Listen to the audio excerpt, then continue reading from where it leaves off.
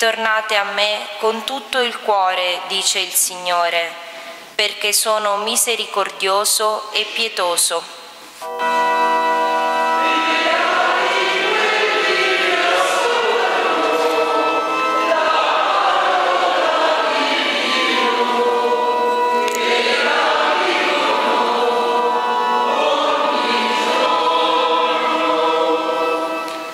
Signore sia con voi. E con il tuo spirito. Dal Vangelo secondo Luca. Gloria a te, o oh Signore. In quel tempo, mentre le folle si accalcavano, Gesù cominciò a dire, questa generazione è una generazione malvagia. Essa cerca un segno, ma non le sarà dato alcun segno se non il segno di Giona poiché come Giona fu un segno per quelli di Ninive, così anche il figlio dell'uomo lo sarà per questa generazione. Nel giorno del giudizio, la regina del sud si alzerà contro gli uomini di questa generazione e li condannerà, perché ella venne dagli estremi confini della terra per ascoltare la sapienza di Salomone. Ed ecco, qui vi è uno più grande di Salomone nel giorno del giudizio gli abitanti di Ninive si alzeranno contro questa generazione e la condanneranno, perché essi alla predicazione di Giona si convertirono. Ed ecco, qui vi è uno più grande di Giona. Parola del Signore. Lode a te, o oh Cristo.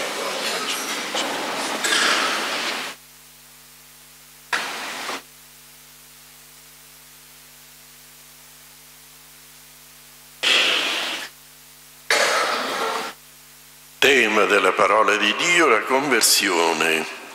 Infatti il versetto che avete ripetuto, ritornate a me con tutto il cuore, perché io sono misericordioso e pietoso.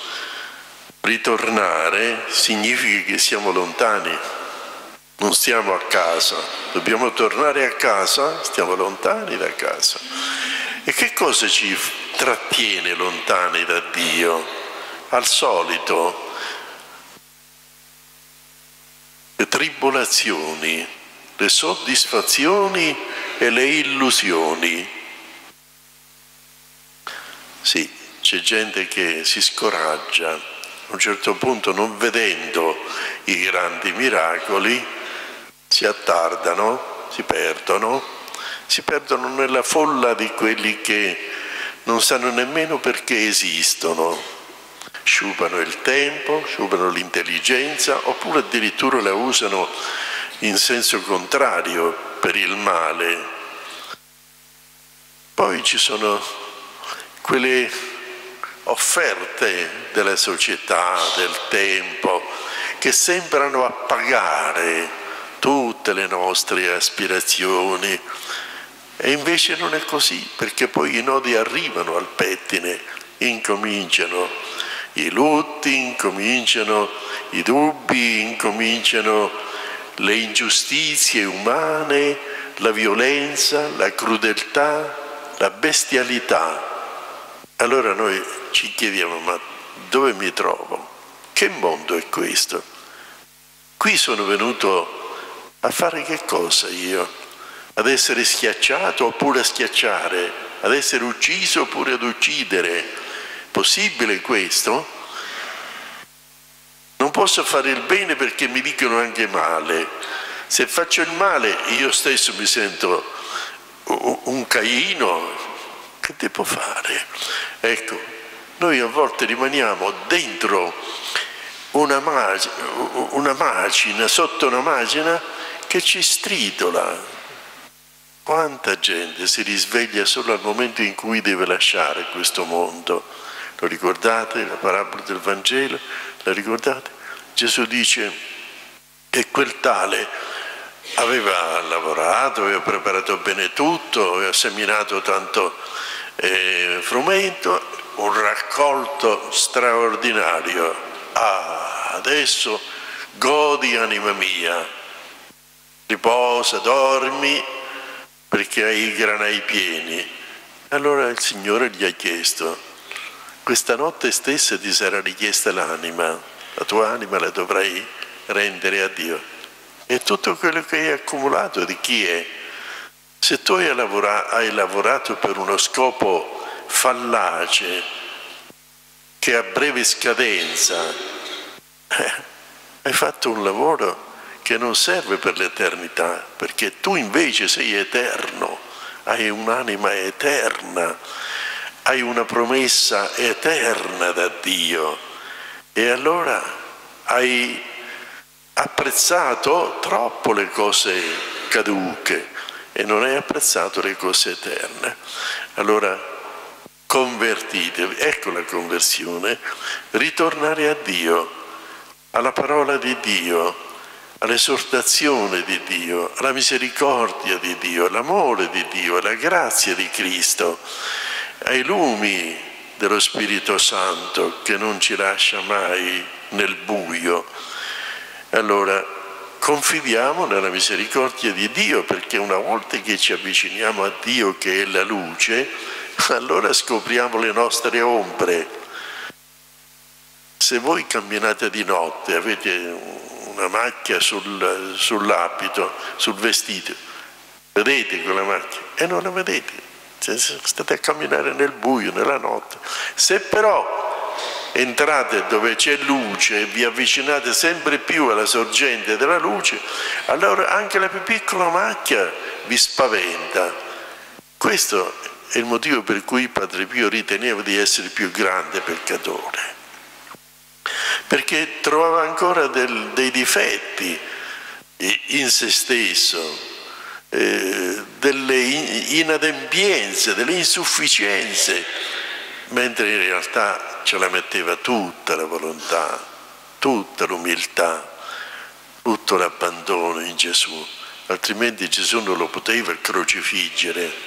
Quando arriva il Signore e prende Francesco d'Assisi e lo inchioda alla croce, significa che Francesco ha già lasciato lontano il vecchio uomo, è tornato totalmente alla gioia, all'amore, al canto della dolcezza dello Spirito Santo, infatti diventa il cantore di Dio Francesco, ma ogni conversione parte dal lamento e arriva all'esultanza, sempre.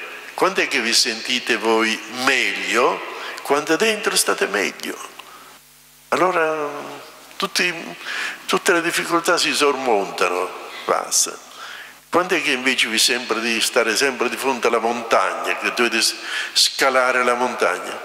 Quando non avete trovato nella volontà la forza di dire ma dai, vai, Ecco allora, la conversione significa che noi ci fidiamo di Dio e affidiamo a Dio tutte le nostre necessità e perfino i nostri peccati. San Girolamo rimase sorpreso quando Gesù un giorno gli è apparso e gli ha detto, Girolamo, è ora che mi dai tutto. Eh Signore, ho lasciato la mia giovinezza a Roma, ho lasciato le mie libertà e sono qui a fare penitenza dentro una grotta. Lui si batteva il petto con un sasso, al punto che aveva creato una piaga qui che non guarì mai, pentito dei peccati e chiedeva insistentemente il perdono a Dio. E allora ha risposto che aveva dato tutto al Signore. Non c'ho più niente io, eh, pure c'hai ancora qualcosa. E che c'ho? Io ho solo i peccati e quelli io voglio. Dammi i tuoi peccati, cioè abbandonati alla mia misericordia, confida nell'amore mio. Tu sarai un'altra creatura, sei un uomo nuovo dal momento in cui accogli lo Spirito Santo. È lo Spirito Santo che ti rinnova, nemmeno il tuo proposito, la tua pazienza, non basta. Ci vuole una perfezione che viene a te dallo Spirito Santo. Invoca lo Spirito Santo, i peccati non ci saranno più. La Quaresima è un'invocazione continua al Signore. Pietà di noi, liberaci, o oh Signore, liberaci da tutti i mali. tutti i mali, quelli del corpo e quelli dell'anima, perché Dio ha cura anche del nostro corpo, è come se ce l'ha. Ninive, una città intera, ha ascoltato la predicazione del profeta, si è messo a fare penitenza e Dio ha risparmiato il castigo e si sono sentiti eh, gratificati, amati, perdonati.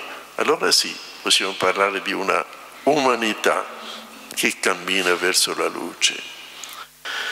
Eleviamo a Dio la nostra preghiera. Diciamo insieme, ascoltaci, o oh Signore. La fede è il sostegno del cristiano in ogni momento della vita terrena, ma soprattutto quando il buio e la battaglia si infittisce. Più fede. Col tuo profeta hai detto, mi metteranno a morte e confermasti ai tuoi il terzo giorno voi risorto mi vedrete. Turbato è il loro cuore e vinto da paura. Non li vedrai di fatti sul monte del Calvario, ai piedi della croce. Tra il dilagante sfogo dell'odio dei nemici, in piedi sta tua madre e stretto a lei Giovanni l'amico prediletto.